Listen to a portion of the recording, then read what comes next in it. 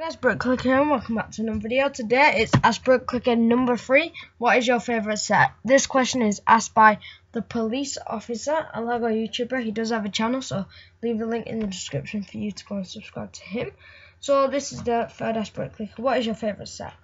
When I first looked at this, one popped to my head straight away.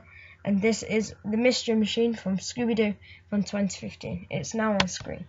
So this is a set that I really love it's one that I've liked since I got it for my birthday in 2015, and I think it's just really good model and good scale model of the Scooby-Doo classic Scooby-Doo, everyone knows it, vehicle.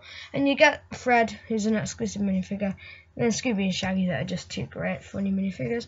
Then there's Zombie and the Trio alright, but not the best parts. Uh, but I'd say the main part was the Mystery Machine. That is a phenomenal set in my opinion. Others would be the Fortress from Nexo Knights then City Classic 2008 8 police station I remembered in Brick Clicker number one that I said about a memorable set. So it's a very nice one for me that I really do like and I'd put it alongside my favourites. My top two or three favourites are coming up next week so check them out next Monday.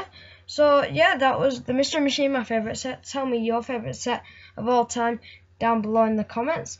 Uh, please like, subscribe, and comment anything you want to on your thoughts. See you next Monday. I'll be back here next Monday for Brick Clicker Ask number 4. See you later. Goodbye.